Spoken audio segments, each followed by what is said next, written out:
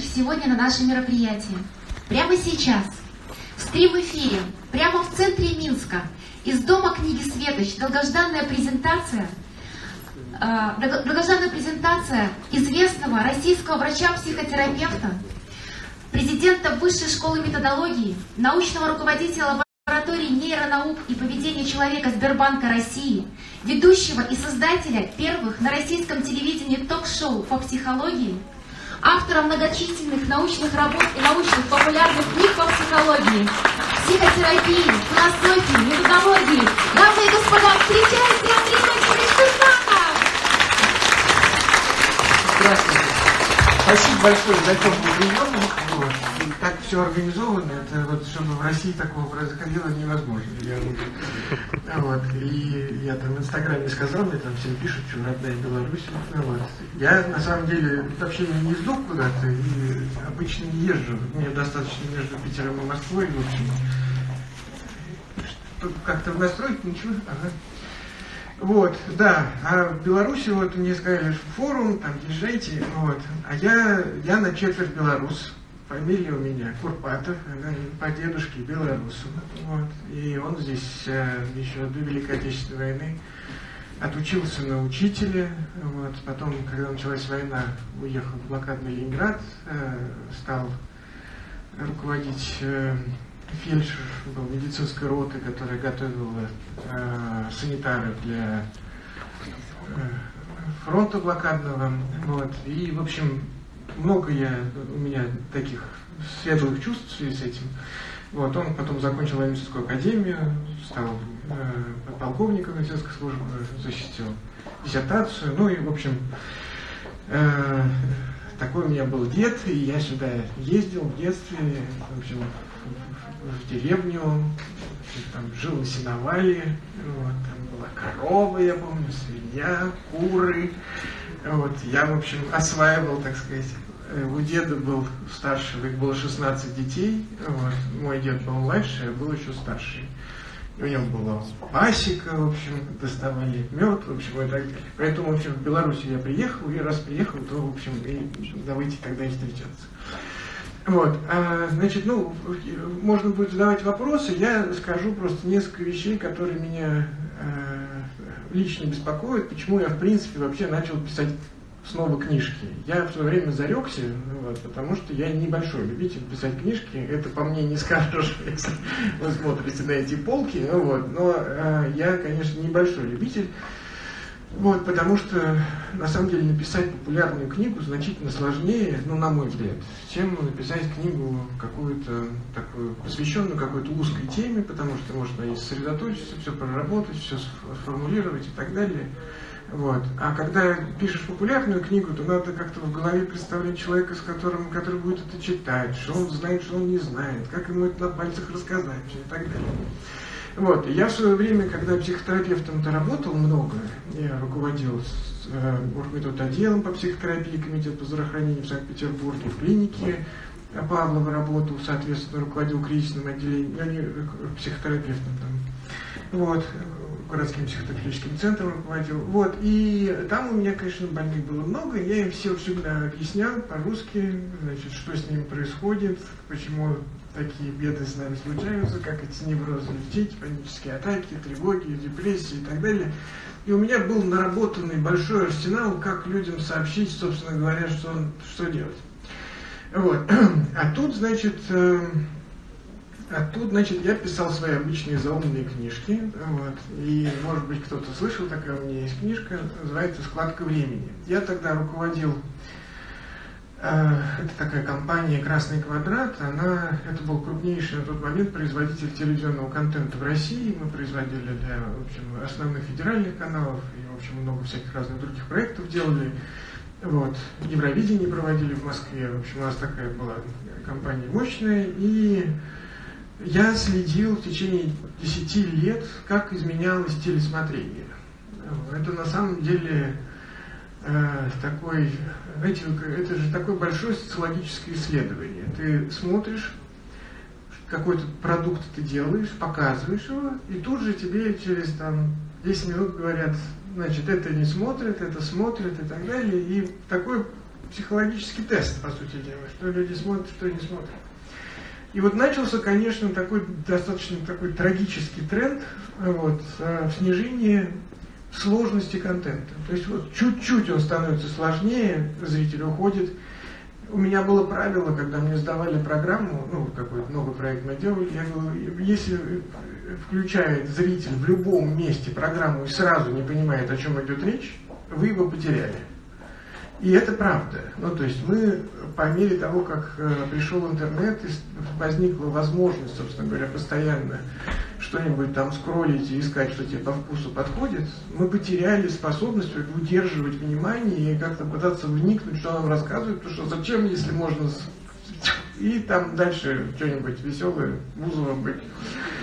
Вот, да, вот, поэтому э, и я тогда вот написал эту книжку «Складка времени», что мы с вами оказались. И я описывал феномены, которые, собственно, характеризуют наши, на, нашу, наш внутренний мир сейчас. И этих феноменов выделил три. Первый, мы не вполне понимаем, кто мы такие. Ну, то есть, если вас спросить, кто вы, ну, вы, конечно, фамилию, имя, отчество там по паспорту, ну, вот, или не по паспорту вспомните, вот, но в целом рассказать про себя какой-то связанный рассказ, который был бы, знаете, как раньше когда-то вот рассказывал дед про то, как он воевал и что там происходило, это уже как-то вот уже не получается. Мы не очень понимаем. У нас есть Инстаграм, у нас есть Фейсбук, там, ВКонтакте, вот мы. Понимаете, там у всех все одинаковое. Уже все врут же. Вы же специально там долго прихорашиваетесь, прежде чем оказаться в Инстаграме. Вот, уж непонятно, сколько времени чего больше занимает. Вот, подготовка к Инстаграму или просмотр Инстаграма. Все еще ходят, фотографируют. Или что они фотографируют, я это не понимаю. Вот. Да, ну вот, да, и вот, короче говоря, мы не вполне понимаем, кто мы. Второе, у нас нет никаких очерченных желаний. Знаете, в целом жизнь стала такая, как бы все справиться, управиться там, и так далее. Женихаться вообще стало просто, вот, там, раньше все серьезно же должно быть. Все, семья, одна, мы знакомы, обсуждаем там долго.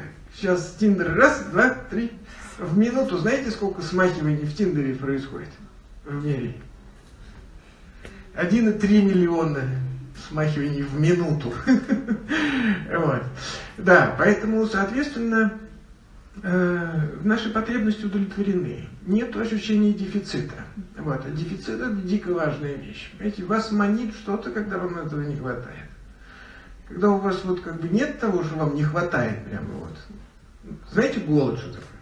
Вот голод, настоящий голод, так все же сразу как-то централизуется в голове. Вот. Я помню вот голод. А, я в 91 году мы были в военном лагере под Петербургом, вот, и там просто вообще не было еды. Ну, вот, и, и мы ели морковку на полях. Нас еще, к счастью, вывозили на поля, мы ее там прямо чистили, и там и ели. Вот. вот когда есть голод, понимаешь, что надо. А помню, белый хлеб нам, ну, я сейчас его так далее, просто этот буханка был, говно пирога, там плохие хлеб делали. А, ну вот, но был самый вкусный, да. Вот, поэтому, э, да, у нас сейчас жажды нет такой. Все живут непонятно, чем куда. И третий, третья проблема, это то, что наше мышление стало фальсифицироваться. То есть люди говорят какие-то понятия, ты спрашиваешь, а о чем это? Ну, что ты подразумеваешь под вот термином? Я личность, например. У меня есть личное мнение. Что ты имеешь в виду? Ну, если ты какому-то мнению представил, что оно личное, сразу надо стыдиться и убегать. Ну, так же. Ну, потому что мнение должно основываться на фактах. Мнение должно основываться на интеллектуальной деятельности.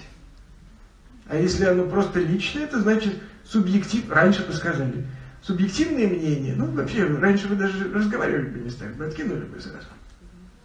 Люди не понимают, они гордятся, у меня есть личное мнение. Пугает меня, понимаете? И, ну это такой пример, может быть, контринтуитивный, ну вот, потому что все считают, что у них хорошее мнение. Это ошибка. И у меня плохое, и у всех плохое. Вы не думайте, мы дефектные, у нас мозги плохие устроены. Вот. Но в целом вот понятия, которые мы используем, они стали, они стали внутри пустые. Мы не вполне понимаем вообще, про что мы разговариваем, что мы добиваемся и так далее. Вот. И, соответственно, я стал заниматься э, пропагандой остатков интеллекта. Вот.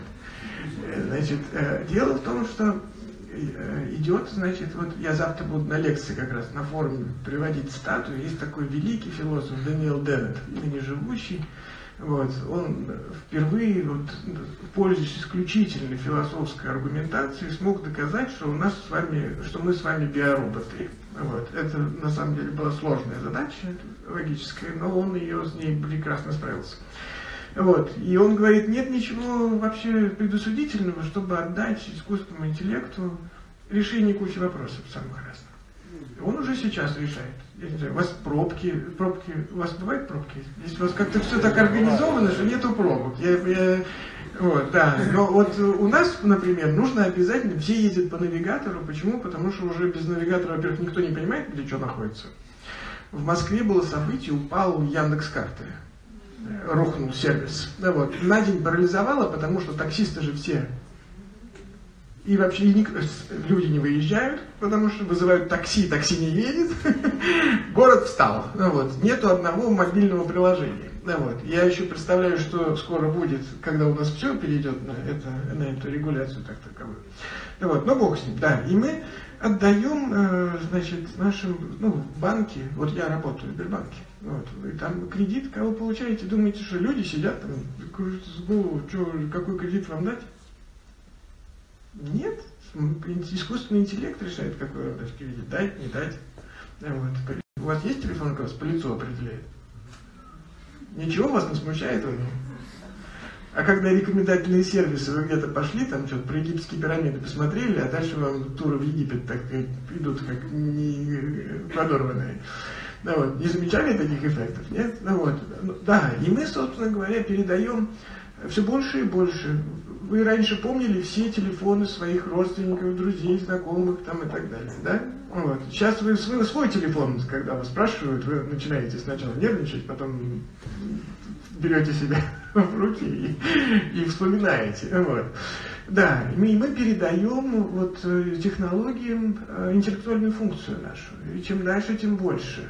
Вот. И детей стали передавать технологиям ну, это худшее из возможных употреблений, да, потому что когда ребенку, конечно, прыгающие картинки, это тоже способно схватить его внимание и удерживать, сколько ему заблагорассудится, такой бэбиситер стал. Ну, то, что ребенок дебилом выйдет, вырастет, это в этот момент родители не волнует, потому что у них есть Инстаграм и Фейсбук, и они очень заняты. Вот. А так как бы отдали, и там дальше, ну, как бы трава не расти, будущего нет. Вот, и возвращаясь к Деннету, да, он сказал, что неплохо отдавать технологиям какие-то вот э, э, наши интеллектуальные функции. Проблема не остаться дебилами в тот момент, когда мы сгрузим на искусственный интеллект решение интеллектуальных задач. Потому что интеллектуальный навык это навык. Вот. Если его не тренировать, то, к сожалению, никакого, никакой соображалки у вас не будет, и ждать вам ее неоткуда. Она ниоткуда с неба не упадет. Это труд, а мозг вообще трудиться не очень любит. А можно так не болтать там? Вот, да. А, мозг трудиться не любит. Для него это вообще э, работа такая э, напряженная. Тратит много энергии, нужно строить нервные связи. Потому что ваша интеллектуальная деятельность, это же не просто там вы подумали. Забудьте. Нет такой функции подумали. Просто нейроны связались механически, понимаете, в вашем мозгу. Они пустили электричество по каким-то другим каналам. Никаких других способов думать что-то другое, что вы не думали до сих пор, нет. Вот, значит, и, соответственно, конечно, думать скучно, неинтересно, тоскливо, вот, и все благополучно впадают э, в, э, в снижение интеллектуальной функции, и вот два диагноза, значит, один под общей шапкой цифрового Э, цифровой зависимости, значит, э, два диагноза, э, digital dimension, цифровое слабоумие и информационная псевдодебильность.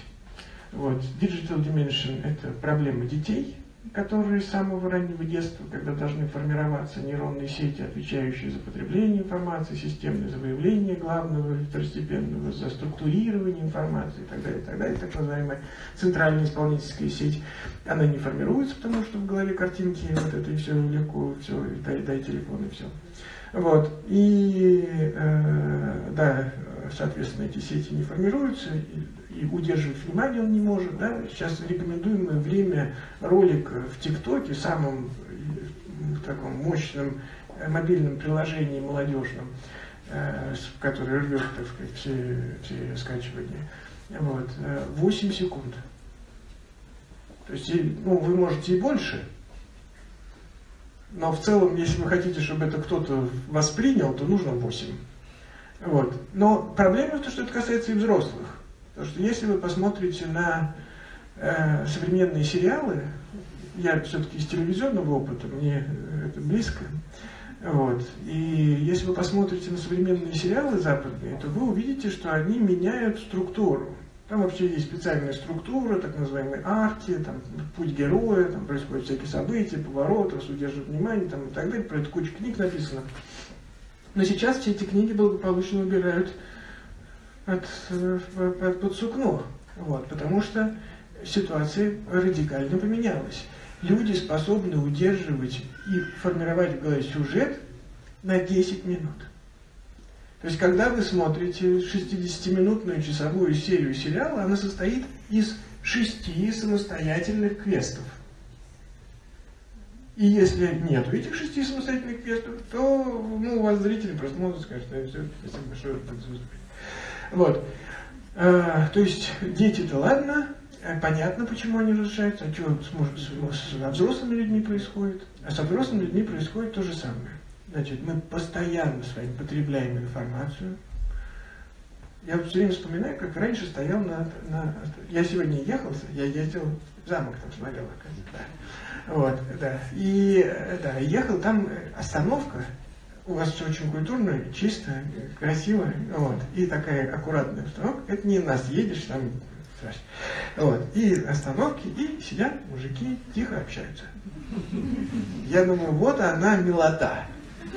Понимаете?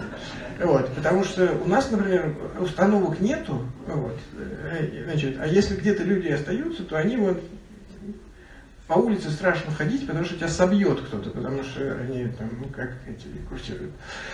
Вот. Э, а вы знаете, да, уже в Европе делают специальные дорожки с подсветкой. Да. да. Ну, в общем, все хорошо, так сказать. Да. И когда у вас работает центральная исполнительская сеть, которая занимается как раз потреблением информации, дефолт-система мозга, она является сетью-антагонистом, та, которая отвечает за мышление, она не функционирует. И если она не функционирует, то, соответственно, нейронные связи, они, если не возобновляются, если они не используются ресурсно, вот, то э, они мельчают, слабеют, уменьшаются, и, в общем, интеллектуальный ресурс падает. Вот. Мы сейчас вот так торжественно идем к этому моменту. И дальше я это называю цивилизационным, идеальным цивилизационным штормом. Это вот будет ли достаточно наш технологический прогресс для того, чтобы подхватить цивилизацию людей, когда люди уже не смогут удерживать цивилизацию. Если мы в этом перекосе пройдем, то, в общем, как-то все неплохо будет происходить. А если пройдем, не пройдем, то будет весело. Да. Четвертая мировая война. Вот, ну что, я вам поднял настроение, я думаю, вот, очень старался, да, поэтому теперь отвечу на вопросы.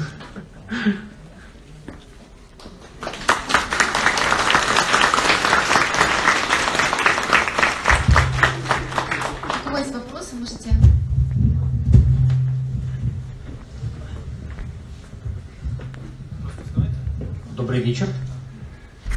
Меня зовут Александр, я основатель сервиса Альфабот. Андрей, вы назвали тему интересную по поводу технологий, провели замечательно. Спасибо большое, что вы помогаете миллионам людям во всем мире в сложной ситуации. Это вы меня преувеличиваете. Помогаете, спасибо, и много успешных примеров. Так вот, у меня первый вопрос к присутствующим здесь. Э, подведу, что у каждого из нас возникают сложности определенные, которые мы пытаемся найти там, куда двигаться, э, как правильно двигаться, ищем различные источники в сети, в том числе. У кого-то спрашиваем. Спрашиваем у, у нашего замечательного гостя, э, смотрим в Инстаграм и так далее. Но бывают моменты, когда э, мы не можем найти информацию, не можем найти вовремя инструкцию, где-то видеоролик в интернете. Это бывает днем, ночью, утром, допустим, на работе и так далее. Поднимите, пожалуйста, руки, кого бывает такая схожая ситуация? Нет? Бывает ситуация сложная? Хорошо. Э, у меня лично бывает. Вопрос в чем заключается? Что многое, многие не подняли руки, но такая ситуация есть. Готовы ли вы, Андрей, создать своего цифрового двойника, который бы мог помочь в любое время дать людям информацию, ту, которая нуждается в данном времени, персональной информации? Спасибо большое. Ну, на самом деле это же активно происходит. Вот. Э, вы все уже пользуетесь, ну, может быть, может быть, не очень активно, но пользуетесь э, так называемыми виртуальными помощниками. Это Siri от компании Apple, это Alexa от компании Amazon. Она, кстати, самая толковая пока. Вот, если не считать китайских, потому что китайские вообще чудесные, молодцы. Э, виртуальные помощники. Э, да, значит, ну, у нас есть Алиса, вот, и так далее, и их сейчас будет появляться много. Значит, виртуальный помощник, это он сейчас просто такая, выглядит как тупая, э, этот, привет, Алиса, что ты тупишь, вот, перестань обзываться. Вот, это весь разговор, который с ней можно производить. Что-то со звуком опять, нет? Я как-то гужу. Вот, да, и, значит, э, я стою вкопанный. Вот, э, да, значит, и, э, конечно, огромное количество информации сейчас на, на, собирается на каждого из вас. Более того, я вам скажу, что на каждого из вас существует э, многие десятки э, э, виртуальных как бы, двойников ваших, вот, где хранится информация о том, куда вы где вы ходите, что вы смотрите, что вы лайкаете и так далее, и так далее, и так далее, и так далее. Вот. Сейчас это в основном вот первый этап был связан с рекламными всеми целями и задачами, потому что вот рекламу, которую вам показывают в интернете, это реклама, которая за доли секунды проходят торги, где ваша конкретная душа торгуется между несколькими десятками роботов, которые принимают решение, готовы они купить вас, продавая ту рекламу, которую они продают. Вот. И это постоянный такой так сказать, режим. Представьте, сколько вы смотрите страницу, сколько вам показывают рекламы, и какая за этим стоит машинерия.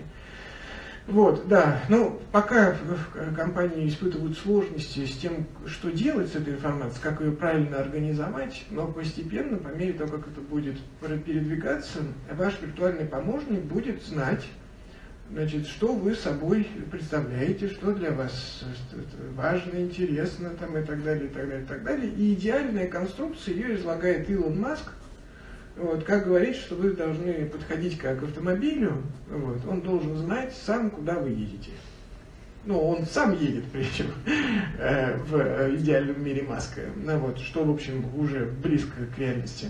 Вот, и, да, и, соответственно, виртуальные помощники, они в этом смысле э, будут даже предсказывать то, что нам интересно, важно, что мы собираемся там, и так далее.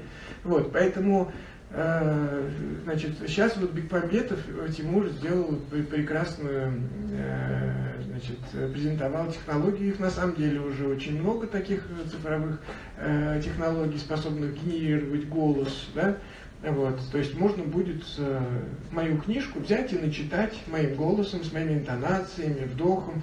Самое сложное это интонирование и вдохи. То есть вот робот должен читать так, чтобы вы ну, как чтобы он дышал как человек. И если он будет дышать на словах как человек, у вас будет полная иллюзия. И он вот сейчас презентовал э, Познер, Владимир Владимирович Путин там, и, и прочие значит, товарищи э, роботизированные. То есть э, это робот читает голосом соответствующего э, человека. Вот. У американцев там вообще эта технология, наши еще чуть-чуть так чуть не дотягивают, вот, но американские технологии просто в этом смысле очень мощные. И, конечно, Кстати, э, есть база знаний о том, что вы собой представляете, дальше база знаний, что мы вообще про это все знаем, и дальше голос выберите, хотите Курпатов вам будет быть, хотите Познер, хотите Владимир Владимирович, вот, батьку у вас есть, можно сказать пару слов. Вот, так что, в общем, ну, как бы, да, поэтому это уже не за горами. Вот, скорость развития технологий мы просто не понимаем, э, скорости, которые, с которой происходит. Вот. А они действительно фантастические. Просто если вы на секунду задумаетесь, да, вот там величайшие математические и прочие всякие открытия, это там, ну, не знаю, 18, 19, 20 век. Вот. А сколько людей вообще имело образование? Единицы по сравнению. Сколько жило то людей? Сколько из них имело образование? Все мои прабабки и прадеды были, ну, там, за исключением двух, вот, были безграмотные. Они не умели ни читать, ни писать. Понимаете, как это? А сейчас количество людей, которые могут приложить свои мозги, пусть даже не космического масштаба, но когда тысячи муравьев, понимаете, миллионы, миллионы, миллионы тысяч муравьев начинают что-то собирать, у них получается муравейник. Вот. И то, что мы сейчас имеем с технологией, мы имеем ровно такую конструкцию. Это огромное количество муравьев. И сейчас мы говорим только про технологии, которые связаны с, э, там, условно, с интернетом, да, с, с искусственным интеллектом. Но технологии этим не, не ограничиваются. Есть технологии, которые связаны с самой важной темой. Это наш с вами организм, да, это медицина, да, это лечение, это создание индивидуальных препаратов, установление диагнозов, Ватсон уже ставит диагнозы онкологии по, по целому ряду позиций лучше, чем врачи. Раньше выявляют заболевания и так далее. IBM Ватсон как такой суперкомпьютер. Вот, поэтому все это генная инженерия, в общем, все это будет стволовые клетки, совершенно просто то, что мне сейчас рассказывают коллеги, э, которые работают в западных университетах, это, конечно, просто завораживающе. Ну, то есть возможность все, все, все воссоздавать любой орган и так далее, она уже, мягко говоря, не за горами. Вот, поэтому вот огромная куча муравьев вот, создает а, эту новую реальность. Вот. И да, знаете, вопрос, вот, вопрос, когда возникнет искушение, сейчас есть один безумный дядька, вот, который отдал себя на эксперименты, американец, но он сам, э, как бы, технолог, он себя кибергенизирует. То есть он э, постепенно отключает внешние источники э, собственного восприятия и переходит на цифровые. Да? Ну, условно говоря, вы видели, люди ходят в экзоскелете. Это что такое? Они своим мозгом непосредственно управляют э, значит, ну, экзоскелетом. Вот. Э, ну, также можно, собственно, есть люди, у которых смотрят через камеру. Э, соответствующие электроды установлены в зрительную кору. Зрительная кора натренировалась воспринимать из камеры и, соответственно, вот. Где-то в последнем ролике на Ютубе, который вышел из черного зеркала, я рассказываю, там э, крысам вживили электроды вот, и стали передавать информацию о пространственном месторасположении. Вот. И они стали ориентироваться в лабиринте, не, ну, не зная, как они это делают, но делают это правильно и так далее. Вот. И, но здесь вопрос, конечно, как мы начнем глючить вот, по мере того, как какие, какие-то функции. Потому что вот это как раз не вполне понятно. Вот. Мы материя тонкая, мы вообще состоим из глупостей. Мы вообще, вся наша прелесть вот в нашем идиотизме. Вот. Ну, правда, вот просто, если бы все было бы хорошо, правильно и идеально, вот вы бы друг друга поубивали бы. Вот. Э, от тоски. Вот. А так вам не скучно. То есть вот постоянно что-то происходит. Вот и, люди это существа, которые вот, искусственный интеллект не будет совершать ошибок. Он не будет предлагать глупости. И это, конечно, вот когда мы с ним начнем жениться, так сказать, в полной, вот э, и что будет ваш двойник, который не будет принимать странные решения, находя совершенно фантастические объяснения, оправдания любой проделанной глупости, просто с виртуозным, так сказать, с виртуозной мощью. Вот. И что, будет, когда мы вот это потеряем, когда мы станем умными за счет вот этих когнитивных приставок, когнитивных протезов, как их называют Беннет. Вот это вопрос. Вот, поэтому двойников будут делать, но я не уверен, что они это то, что нам нужно. Спасибо. Следующий вопрос. Хотелось бы людей, чтобы нормальных продолжали делать. С этим проблемой последнее время. Спасибо вам большое за книжки, за лекции, которые есть на ютубе, подкасты. А, смотрите, по поводу книжки, например, э, что касается там а, чертоги разума. Несколько раз ее перечитав, все равно понимаешь необходимость практических занятий, да, то, что вы не раз упоминали. Я был в э, кластере игры разума, восхитительное место, Спасибо. вообще супер. Но там уехать э, в Питер на два месяца или там на полгода, чтобы пройти, это все сложно. Поэтому... Лучше два. Да. Вопрос такой.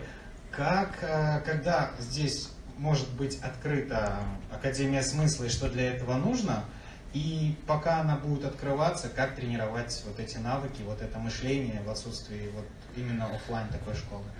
Ну, вот мы сейчас как бы допекли меня уже. Ну, на самом деле просто Академия смысла это же не какой-то проект, который там был задуман, и вот как-то. Это, естественно, люди занимались, э, ну, как бы я придумал как бы механику занятия, а дальше они уже, собственно говоря, стали ее развивать, структурировать, организовывать там и так далее. И это такой вот э, живущий организм, по сути дела. Ну, вот я уже как-то эти, у Платона была академия, у, этот, как, у, у э, Аристотеля был Ликей, вот, у Эпикура был сад, ну, вот, а у меня он игры разума. Вот, э, да, ну то есть это сам живущий организм, и ну, если говорить просто про возможность, там нету никаких франшиз, их не может быть, потому что это знания, которые они, его можно в офлайне получить, занимаясь друг с другом, и, соответственно, мы вот сейчас надеемся, что у нас, может, в Москве получится э, там открыть следующий. Но там уже, э, почему? Потому что там уже, по-моему, больше 60 москвичей прошли обучение в Питере, и вот они уже там э, готовы, соответственно, вести группы там и так далее. Вот. Но почему я говорю, что меня допекли? Потому что, значит, мы вот сейчас э, будем делать первые онлайновые проекты вот, э, обучения. Они будут э, тоже с упражнениями там и так далее. Я вот пока не могу сказать на 100%, что вот, но, мы потратили практически полгода на то, чтобы эту технологию разработать и как-то ну, начать, вот, по крайней мере, такой инструментарий вводить. Вот. Я думаю, что по мере того, как э, у нас э, технологии будут развиваться, ну вот, эти, скоро же проблем пространства не будет никакой. То есть вы просто оденете очки, и в вашем комнате будет ходить э, доктор Курпатов, ну вот, вы с ним будете общаться, он вам будет это к вопросу и будет вам отвечать. Ну вот, я не шучу, меня сейчас заснимают в одной такой конструкции, там специально, это будет еще недостаточно интерактивно, вот, но, э, значит, там стартапы, и вот вы будете одевать очки, и в любом помещении, сразу у вас в магазине, в любой момент садитесь на диванчик, раз, расскажу все, станцую там, вот, э, да, вот, да. И, в общем, короче говоря, скоро, конечно, э, здесь же несколько ограничений, которые очень быстро преодолеваются. Например, э, скорость интернета, да, и скорость вот, просчетных возможностей. Э, 5G китайцы уже сделали, они сделали это на два года раньше, чем успели американцы. В результате американцы китайцам, значит, стали конкретно компании Huawei, которая это придумала, отворачивать все э, части тела, это сажать в тюрьму дочку президента и основателя Huawei там, и так далее. Это реально такая очень мощная война, которая идет за владение технологиями. И что такое 5G? Это вот э, технологии, при которой скорость э, передачи информации становится такой, что вы перестаете замечать разницы. И то есть вот э, интерактив будет полноценным. И воспроизводить, в общем, вокруг вас людей. Вот. Э, Сейчас еще делают у людей, это очень похоже, таких искусственных, но правильно реагирующих на все. Вот, смущающихся, краснеющих, э, улыбающихся, подмигивающих в нужные моменты и так далее. В общем, там есть перспектива. вот. Э, так про что я рассказывал? Кафе Я онлайн. Да, вот, да, я надеюсь, что, в общем, как бы какие-то технологии, которые, конечно, разрушительны, но в конечном итоге вы здесь собрались из-за Инстаграма и Ютуба, с которым я борюсь. Давайте посмотрим правде в глаза, правильно? Вот, значит, э, ну, э, то есть любое, э, любое оружие можно использовать во благо. Ну, вот. И в целом, когда технологии нам позволят, мы, конечно, ну, то есть даже не нужно будет, так сказать, открывать, можно будет э, виртуально, соответственно, Э, в конечном итоге, э, ну, я всегда говорю, меня обвиняют в том, что я не люблю технологии и ругаюсь на них. Я ругаюсь страшно. да, я здесь очень культурно, потому что у вас очень строго все остальное. Вот, а, а я ругаюсь, что вообще вы, вы даже не представляете. Ну, вот, но я понимаю, что в них огромный ресурс, если просто в них правильно вложить. Просто проблема, что вкладывают, соответственно, компании, которые нуждаются в э, большом финансовом отклике, и они вкладывают, соответственно, в э, ширпотреб. Ну, то есть, вот э, вкладывается во что, во что способно вовлечь огромное количество людей. Ни во что сложное там, и так далее, вы большое количество людей никогда не вовлечете. Ну, потому что, ну, потому что. Вот ответ будет такой, потому что. Вот. И да, и конечно, сейчас пока технологии используются ну, просто на, на убийство. Ну вот э, TikTok, например, классический способ убийства подростковых мозгов. Вот. Он такой с оттягом, вот, но зато массовый, побеждающий. Ну вот, и пока мы находимся в конструкции. Но по мере того, как эти компании захватят мир, а они его уже скоро захватят, совсем чуть-чуть осталось, вот, вот когда это все произойдет, они дальше будут создавать какие-то локальные вещи для того, чтобы им же надо, чтобы кто-то э, смотрели сериал «Мир Дикого Запада». Да? Вот, значит, там есть э, место, где богатые развлекаются, значит, с роботами э, антропоморфными, значит, ведут себя как попало, вот, но там еще под всем этим есть много этажей, где сидят люди и чинят. И вот то, что они наворотили. Вот этих людей тоже надо будет как-то воспроизводить. Да вот, поэтому в какой-то момент, конечно, э, озабоченность, как сохранять интеллект у э, людей, она возникнет, технологии в этой части тоже будут способствовать. Ну вот, а мы опережаем время, вот, пытаемся сделать это, значит, нашими ресурсами. Вот, поэтому сейчас будет, э, я думаю, ноябрь у вас, или когда, декабрь? Ноябрь-декабрь будет уже первый онлайн-курс красной таблетки, но это не Академия смысла, но это как бы зато с упражнениями, заданиями там, и так далее, мы планируем еще развивать его. Спасибо огромное э, за ваш ответ. Я тут ушла немножко в массы, потому Ага. что тут есть ряд желающих задать вопросы.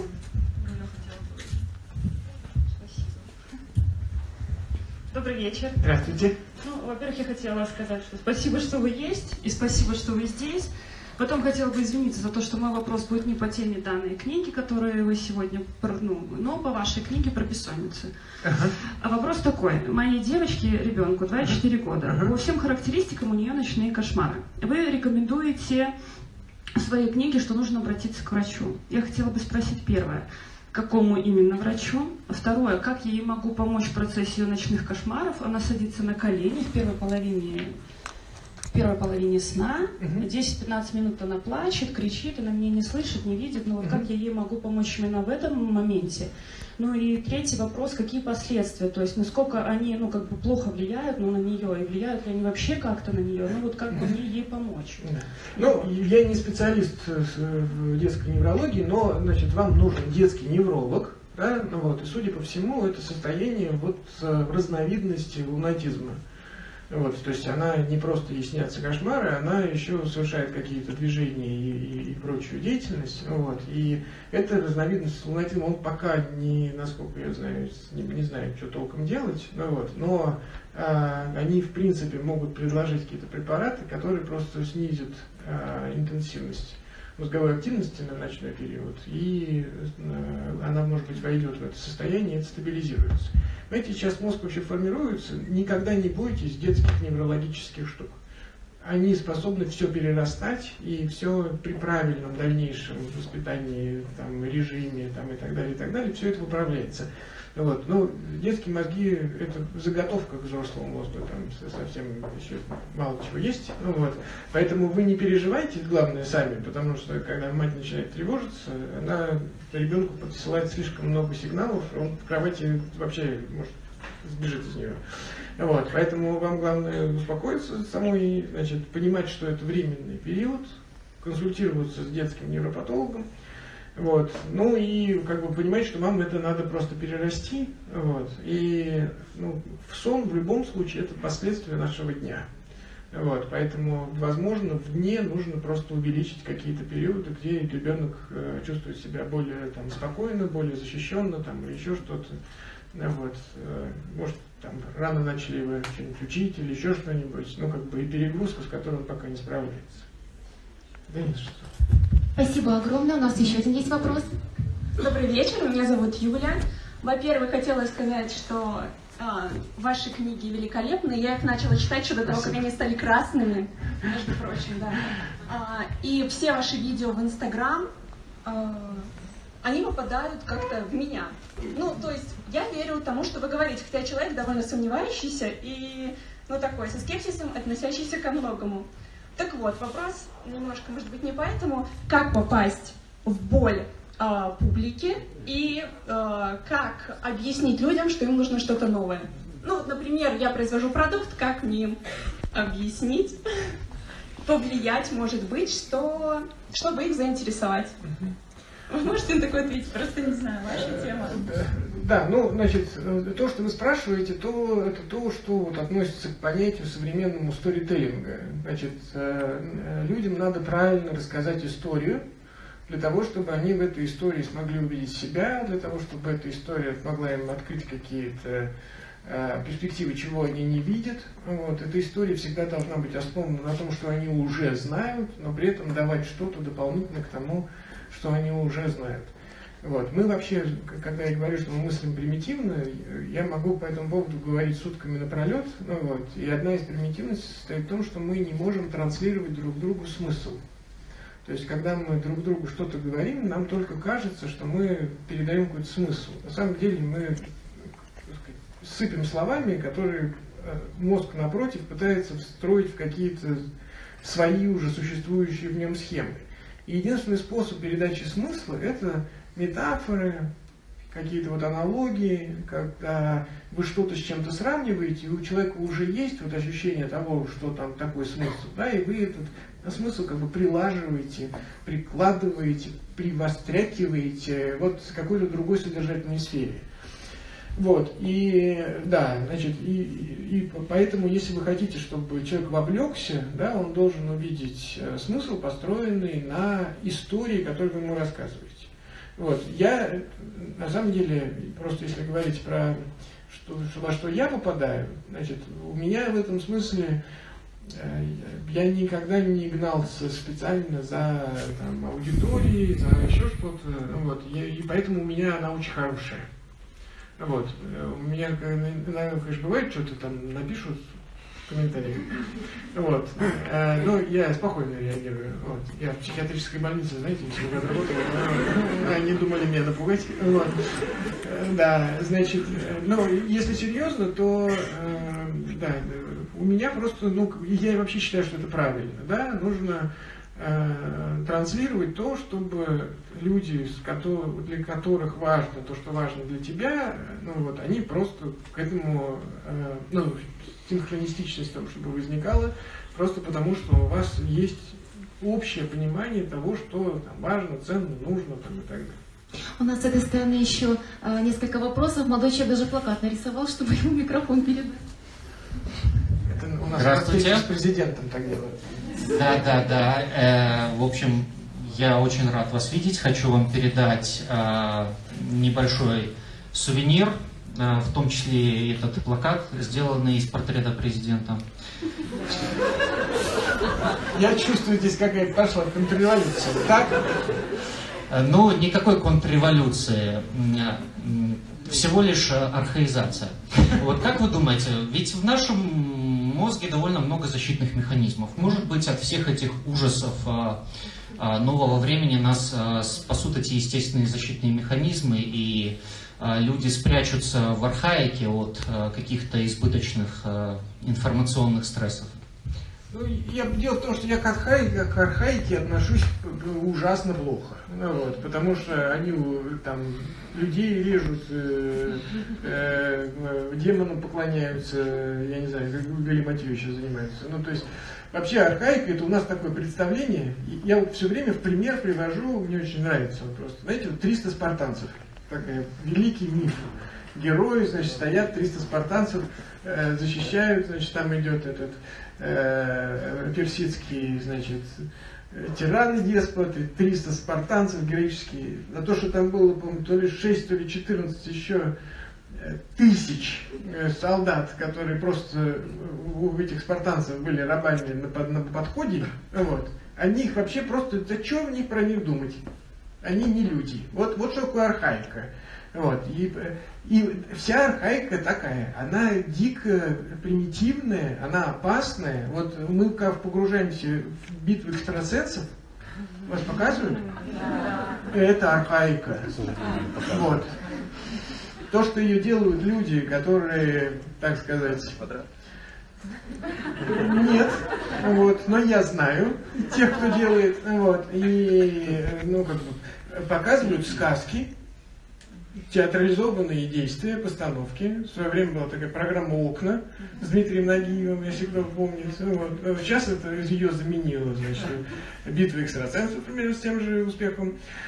Вот, и это и есть архаика. Вот не надо мистифицировать. Э, значит, мы очень долго выходили из, из, из, из примитивности, из тупизма. Вот мы вот как бы а, этот вот э, Кант написал про, что наступает просвещение. Да, и он что написал, что наступает просвещение, это мы как бы вышли, человек вышел из детства.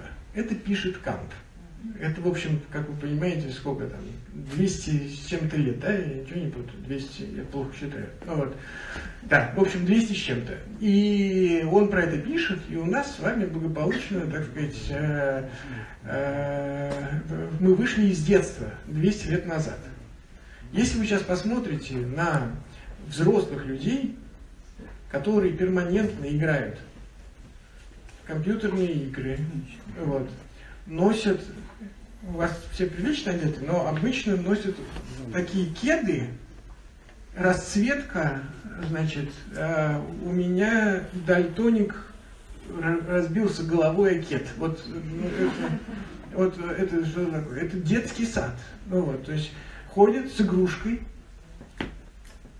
вот, взрослые люди, значит, в кедах, 60 лет, а у него только в детство наступило.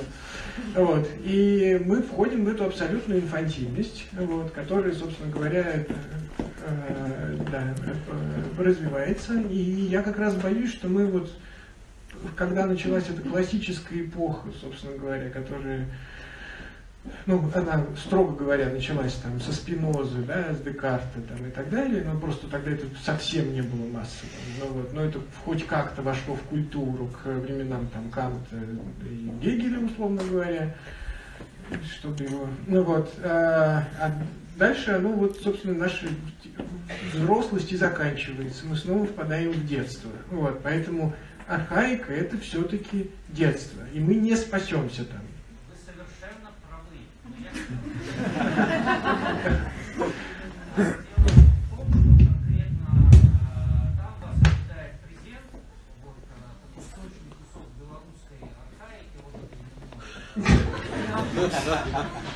Я уже боюсь открывать. А, длинноушное изучение.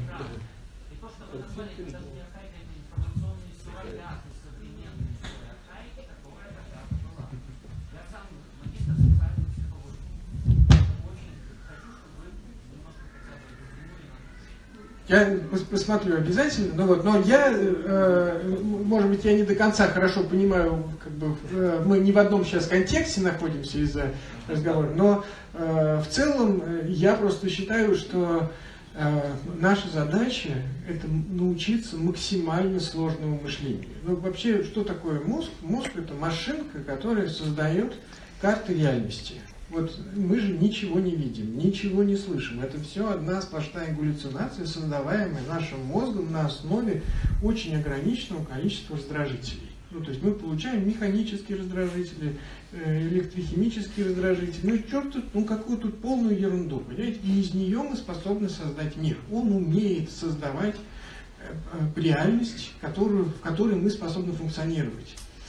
И можно создавать эти карты, как математика, например, да, или она создает карты, после которых вы можете, пользуясь этими картами, вообще совершать совершенно фантастические вещи. Казалось бы, там какие-то цифры, понимаете, непонятные, да, какие-то крустики, нолики, крестики, что-то в ступе, а потом можно рассчитать, понимаете, и сделать, что космический корабль летит, понимаете, не падает. Ну вот это же как-то же, да, это же надо же понимать, как такое происходит. Вот, мы способны создавать сложные модели реальности. Вот. И сейчас просто наша реальность становится, из-за того, что мы начинаем соседствовать с технологиями, она становится очень сложной. И вот нужны сейчас мозги, которые способны вот эти модели максимально сложные создавать. Вот. И я, я вот хочу, чтобы мы еще, если возможно, сколько-то пролетели на прогрессе, вот чтобы мы на нем еще как-то какую-то какую часть дороги успели пройти. Вот, но я как бы изучу там, поэтому... Спасибо большое. Еще вопрос? Добрый вечер.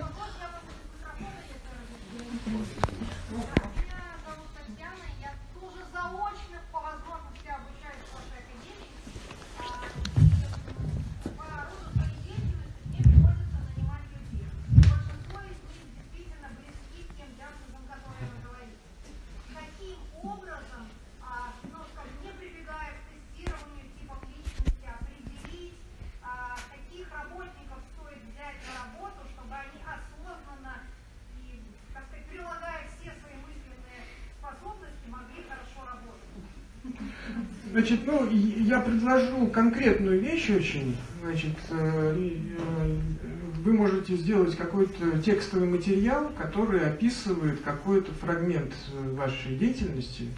Вот. И дальше работнику вы его предоставляете, он должен его прочитать и потом ответить на вопросы про, то, про что там идет речь. Вот. Желательно не убирать у него текст, потому что он точно не справится. Вот. Но если он, имея перед глазами э,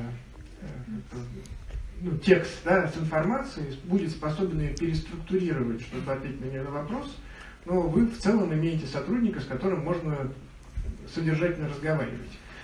Проблема состоит в том, что вы когда разговариваете с человеком, они же все нормально отвечают. Ну, то есть это вот как, но, да. А потом приходишь к работе, да, и понимаешь, что они вообще вроде не алло. Ну вот, поэтому ну, создать какой-то там отчет, условно говоря, по какой-то по вашей деятельности, по структуре, по взаимодействию с подрядчиками, там, я не знаю, по характеристикам клиента вашего и так далее. Задайте там пять вопросов, сохраните, дайте ему то и другое. Если он способен отсюда перенести сюда, переструктурировать, вы будете с ним работать нормально. Спасибо. Добрый вечер, Андрей Владимирович. Меня зовут Марина. Я открыла вас в апреле месяце а, в Ютубе, да, вот таким образом, а, в плане того, что у меня произошел на самом деле взрыв мозга, когда я вдруг, ну, прочитав ваши книги, а, и одну, и первую, и троицу, поняла, что я рефлектор. Да, это Поздравляю было, конечно.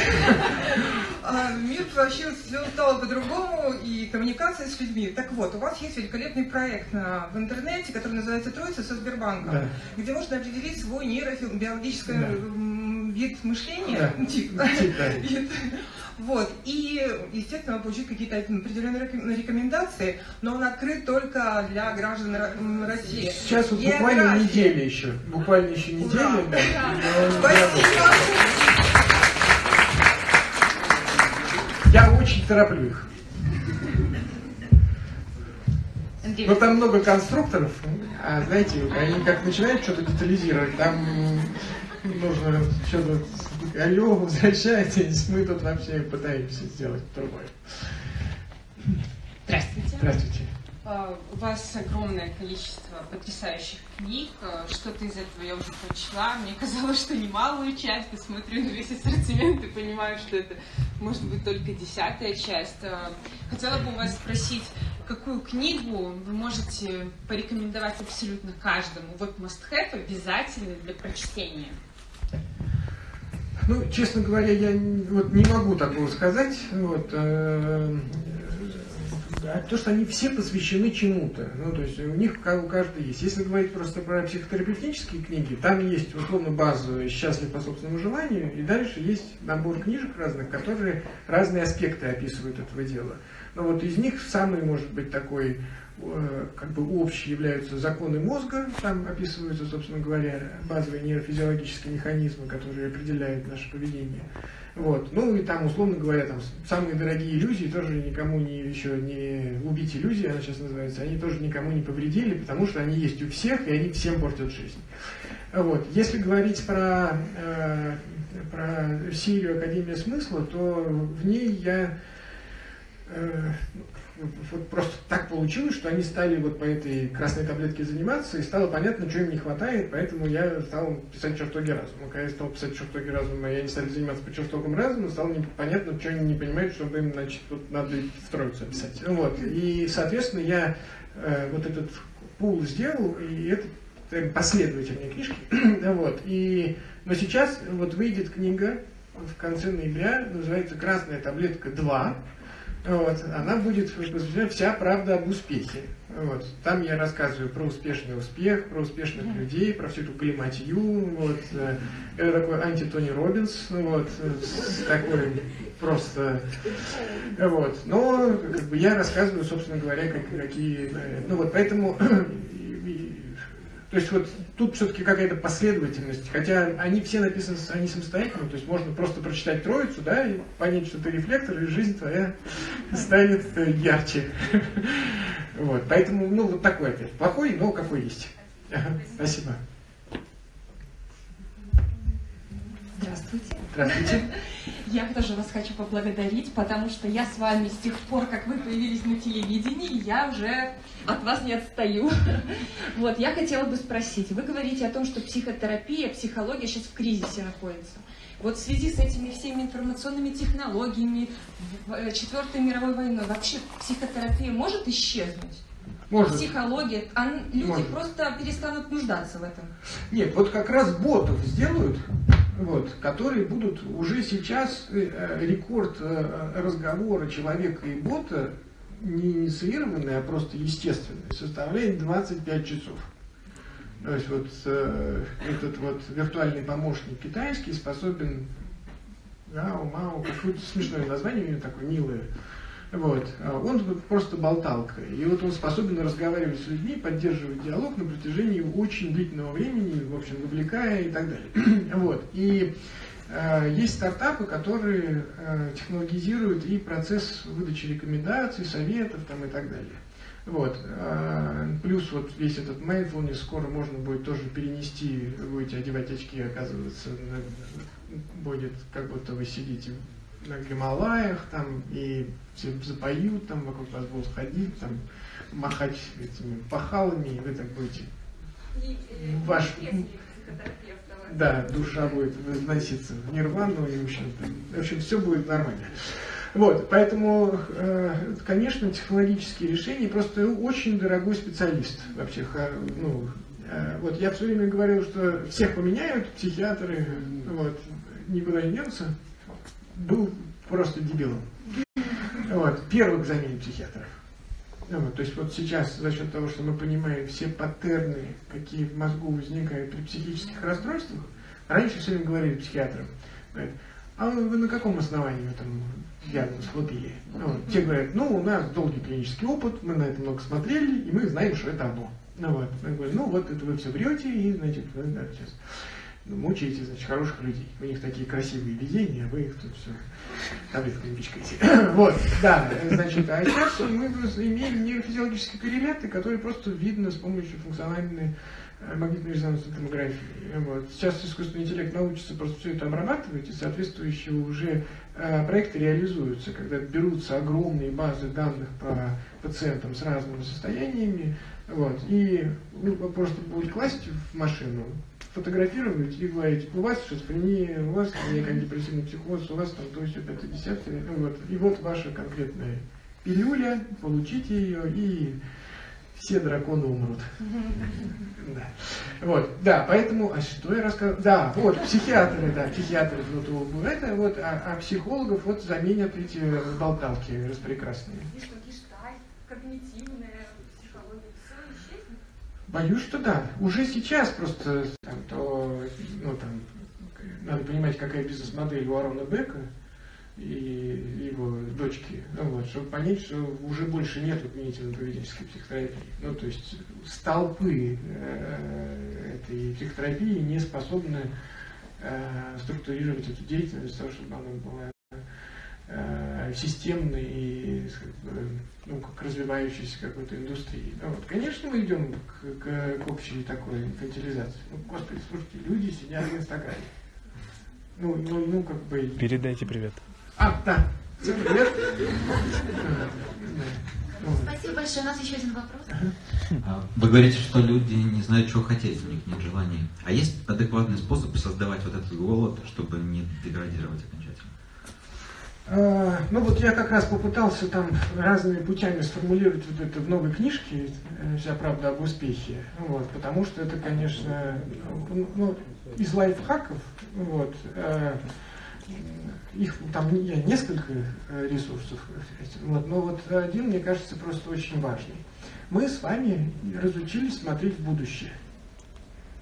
Вот я раньше знал свое будущее до смерти. Ну, то есть я даже знал кладбище, на котором меня положат. Ну, ну так у нас воспитывали. Нам говорили, вот это все, это десятое, там и так далее. Вот. А, пойдешь туда, выучишь это, будешь работать здесь, потом вот это все, потом вот здесь пенсия, потом это, потом вот здесь последний путь. В общем, все было как-то очень... Даже было же все понятно. Вот. Обращаюсь к тем, кто помнит эти милые времена. Вот, э, да, сейчас мы ни, ни у кого нету этого будущего, вот, потому что мы ну, действительно не понимаем, каким оно будет. Вот. Во-вторых, мы не хотим в него смотреть, потому что мы если мы начинаем на него смотреть, нам становится как-то неловко за бесцельно прожитые годы. Вот. И я вот как раз предлагаю в него посмотреть. Вот. Я предлагаю просто понять, что будет происходить с вашей жизнью через 10 лет, например. Ну вот, взять, например, Четвертую мировую войну, книжку, прочитать ее и попытаться понять, что с вами будет через 10 лет в этом новом дивном мире.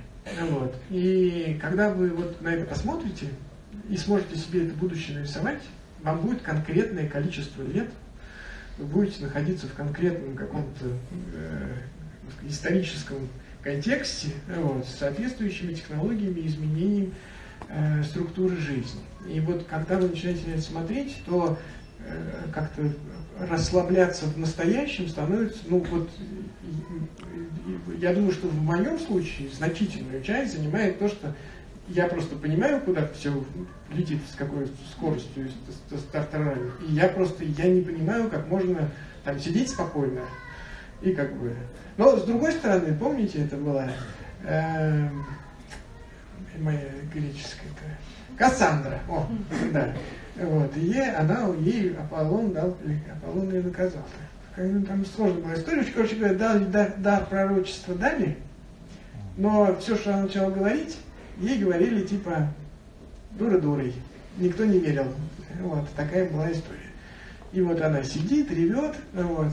Трое еще празднуют, так сказать, свою победу, вот. А она уже знает, что скоро трое немножко будет, так сказать, пахнуть жареным. Вот. Да, поэтому, ну вот просто если преодолеть комплекс Кассандры и, наконец, начать верить в то, что куда мы движемся, то мне кажется, что, в общем, э, как бы от плача можно перейти к какому-то осмысленному действию. Спасибо большое. У нас еще один вопрос. Здравствуйте, меня зовут Ольга. И мой вопрос, как вы относитесь к методу системных расстановок по Хеллингеру?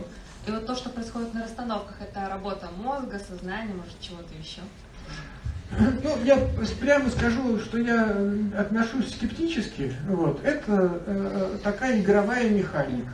Вот. Работают, с, по сути дела, с воображением. Вот. Э, ну, я сам присутствовал на одной из первых расстановок, потому что он пока не был популярен, ездил по психиатрическим больницам и демонстрировал свои, э, значит, свои чудо-методы. Мы дико ржали тогда, надо вот просто я вам даже не передать. Вот, э, да, ушли хихикая просто со страшной силой, и потом выяснилось, что просто это, эта чума на, на оба наших дома скоро упадет, и там люди будут расставляться просто со страшной силой.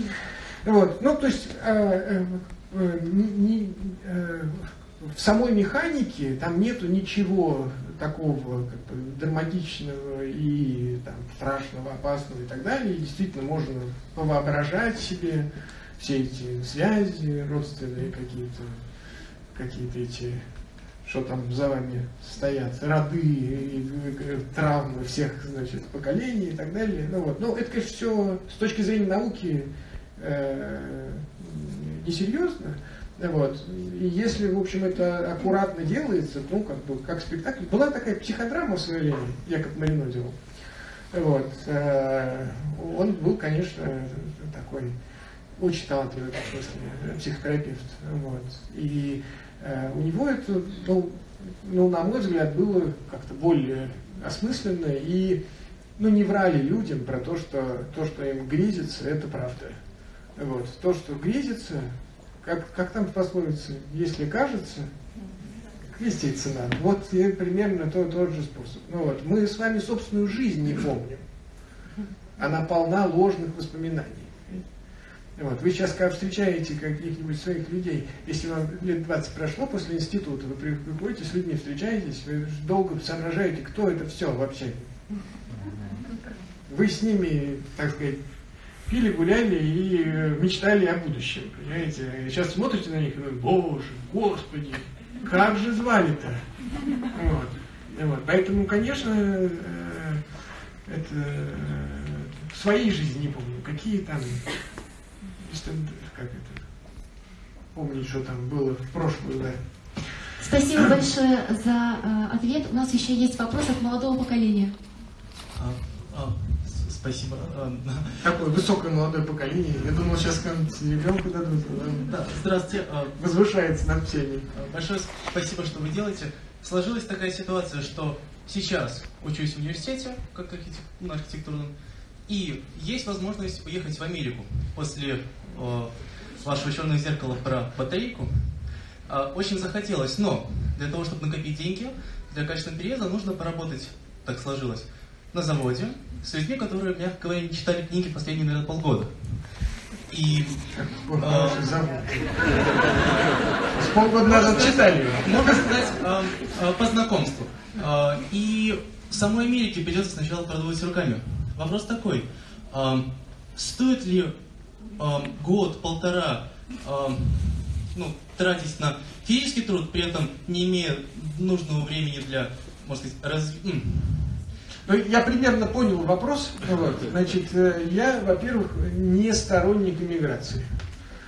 Значит, я считаю, что где родился, там и пригодился. Мы сейчас, в принципе, находимся во времени, где, э, ну, э, просто на самом деле, попадая за границу, вы, по большому счету, в общем, начинаете путь очень э, рискованный, и э, вы всегда будете там, как бы, вы будете чувствовать свою вторичность, то, что это другая культура, другая ментальность, э, э, другой смысл слов, понимаете, это вообще очень э, сложная вещь. Я просто столько налечил людей, которые, в общем, даже в молодом возрасте, в подростковом, переезжая туда, в общем, как сказать, не справились. Вот. Туда можно ехать, если вы здесь сделали что-то, что там тоже нужно. Вот, то есть, условно говоря, если вы способны здесь сделать технологию, которая будет там востребована, вы можете ехать, но вы будете представителем себя здесь, там. Вот. А в противном случае вам придется перелицеваться в ту культуру, в ту систему там, и так далее, и она отнюдь не так э, радужна. Ну, то есть, понятно, что где мы живем, нам все не нравится.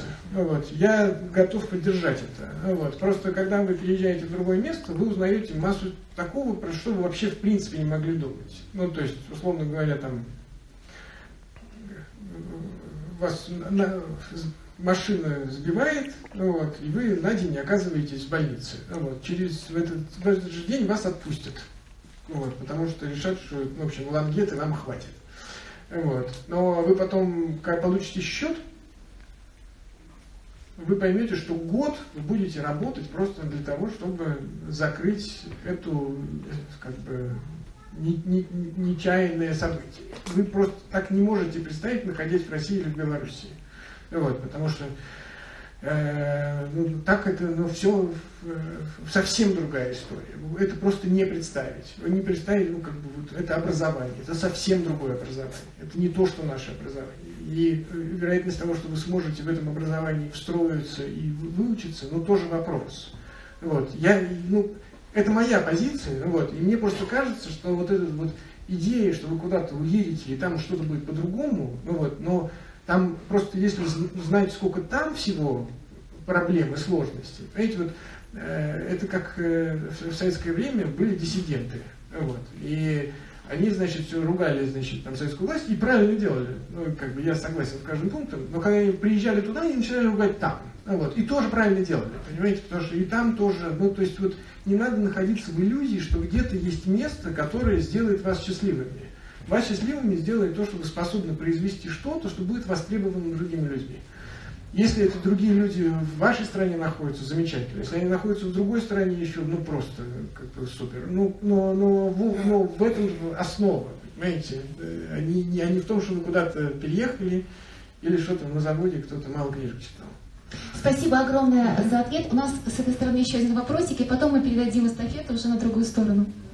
Здравствуйте. А, ввиду того, что вот недавно был вопрос по поводу будущего, как узнать свое будущее, мы не знаем, что там будет. А, как вы посоветуете воспитывать детей? Что сейчас вкладываете в голову? Если вот раньше, понятно, была школа, институт и тому подобное, то что сейчас развивать? То есть, э, ну, понятно, какие-то личностные навыки, что-то такое как ориентировать ребенка.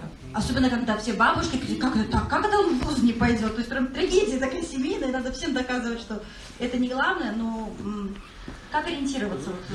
Ну, у меня есть книжка «Счастливый ребенок», там я, в общем, достаточно, мне кажется, подробно объясняю, что я жду вообще, вот, да, что я, в принципе, жду от, э, что я считаю важным для родителей, ну вот, потому что если вы этому следуете, то потом ребенок точно вот как-то сорганизуется сам, ну вот, они в любом случае сами сорганизуются, просто в одном случае чуть-чуть получше, в другом случае как придется.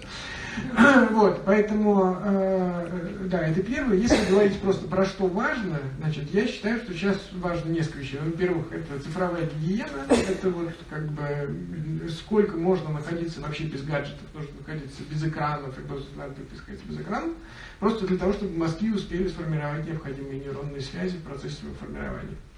Вторая важная вещь – это э, значит, э, социальное взаимодействие. Значит, к сожалению, ну, как бы, раньше дети жили в, э, в ну, мы все время были в каких-то стаях. Ну, вот, маленькие обезьянки, значит, сбивались в стаи. Они были во дворе, там, в, в, на дачах, в деревнях, там, я не знаю, пионеры в отрядах, там, что-то, кого-то, какие-то... Я в Белоруссии был был в 86 году, вот, приехал с пионерским своим, значит, отрядом, вот, по всем, как бы, патриотическим местам мы ездили.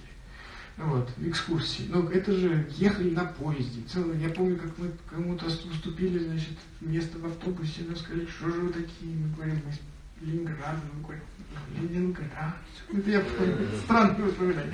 Вот, э, да, ну, в общем, короче говоря, э, да, у нас было, да, и мы все время жили в социальных группах. У нас там все решалось. Ну, вот, сейчас дети, они в социальных группах очень мало функционируют. А, э, значит, именно социальность является основой формирования дефолт-системы мозга, которая отвечает на... Мы раньше жили в больших семьях, а вот сейчас все, пытаются быстрее там от всех разъехаться. А это тоже же стая, знаете, эти все бабушки, дедушки, кто там, что там, все это надо считать, думать там и так далее. Бесконечная работа для мозга молодого очень важная.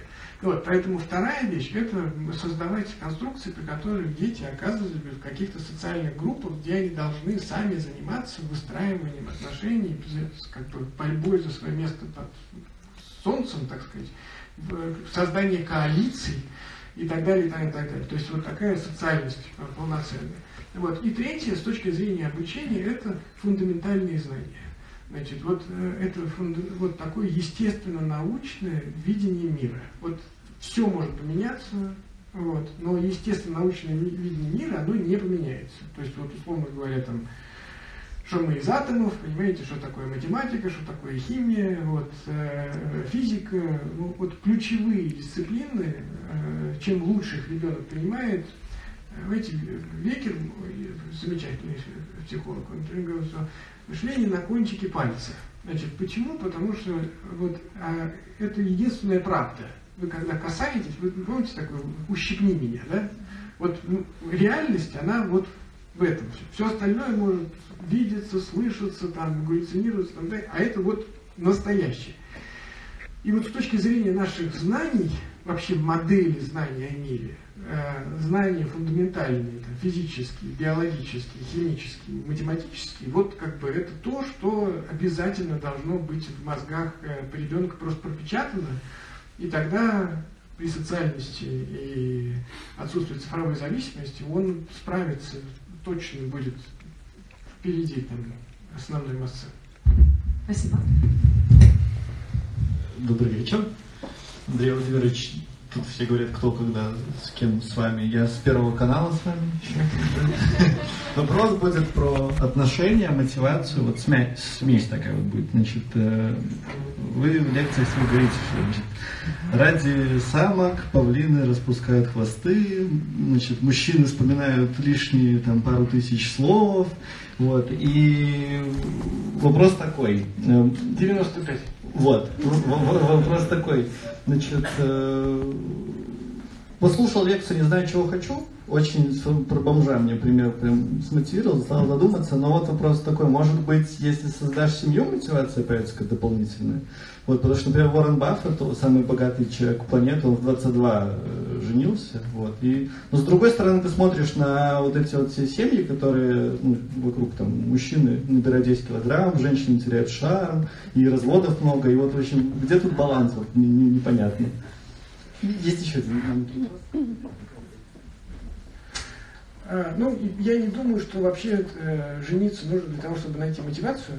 Вот. Это, вот, жениться, замуж выходить нужно, если вы действительно нашли человека, с которым вы, который будет вас давать вам ощущение, что вы не одиноки, с которым у вас будет общее что-то важное, что вы вместе делаете, потому что если у вас нет общего дела, вы никуда не уедете, в конечном итоге все развалится вот, и который будет э, готов вас понимать, а вы будете готовы его понимать, потому что всем мы сложные и отвратительные, и жить с нами невозможно. Вот. Поэтому, если вдруг найдется человек, который э, готов, так сказать, это вот по-настоящему принимать, вот ну, да, берите, просто не важно, что прям хватайте и утащите куда-то в поволок. Вот, поволок. Вот. А, а для, для каких-то целей это как с ребенком. Знаете, нельзя заводить ребенка для того, чтобы он воплотил ваши мечты, или заводить ребенка, потому что надо заводить ребенка, или еще что-то. Вот. А, после того, как у вас появился ребенок, вы просто вот, должны служить этому делу. Да, вот. И ну, как бы, не, не за какими-то другими задачами, а просто потому что. Вот, и поэтому, ну, у нас сейчас, конечно, проблема, вы правы, проблема с институтом брака, вот. Э, Беларусь в этом смысле, конечно, как бы... Тут, тут э, тоже проблема. Э, ну, а, она везде, ну, вот, но как, все-таки, насколько, как по моему ощущению, вот, э, ну, как-то более в этом смысле тради, традиционалистский такой подход, ну, вот, а, а, значит, но он тоже будет поддаваться коррозии, потому что мы в целом входим в другую, в другую, в другое время. Вот, время, когда э, джин сексуальности выпущен из, э, из, из брака, из, из сосуда под названием брак, вот. А дальше мы все приматы, и, в общем, мозги, в общем, ведут себя у всех как попало. Значит, плюс раньше, понимаете, было четко описано ролевое поведение. Э, оно может нравиться, может не нравиться, мне не нравится, вот, как оно было описано раньше. Вот. Э, но э, был, был, были правила, по которым все играли. Знаете, когда есть правила, по которым надо играть, всегда как-то плюс-минус вы куда-то вырулите. Когда эти правила такие, что одни играют в шахматы, а в другие в эту городки, понимаете, ну как бы э, ну, сложно добиться успеха. А новой модели никто не, не придумал. Вот.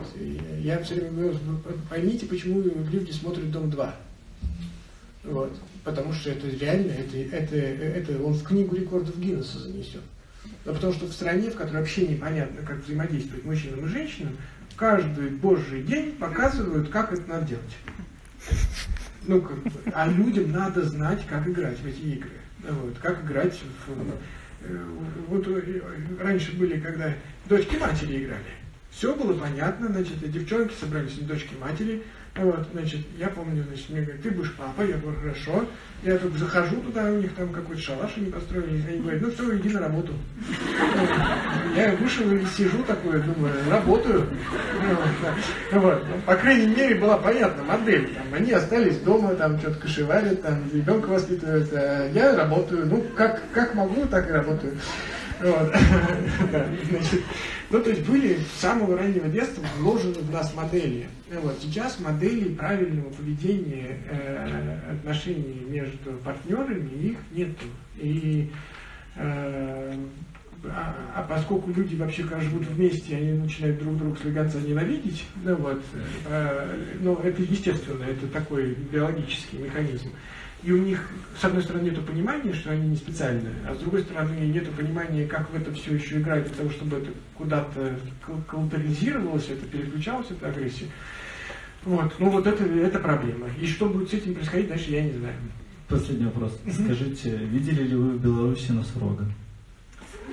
Пока нет, вроде бы. Можете предположить, что он здесь есть? Я уверен, что здесь не может обойтись без носорога. Спасибо.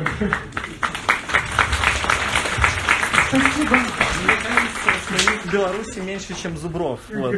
Возьмите маленький Спасибо большое. Спасибо. А, спасибо огромное за ваши вопросы. А, Андрей Владимирович, мы очень рады и благодарны вам за ваше выступление. Надеемся на новые интересные встречи. Наш э, руководитель, генеральный директор э, нашей корпорации Белкнига хочет преподнести вам скромный подарок. Э, Андрей,